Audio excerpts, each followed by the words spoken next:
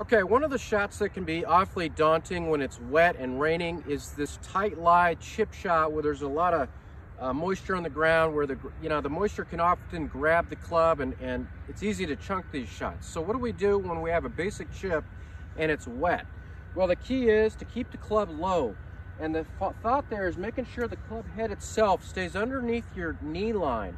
And the reason that'll help is because the golf club will never really elevate too much to the point where it comes down too steep, exposing too much of the leading edge and therefore sometimes chunking the shot. So the key here, keep the club head low.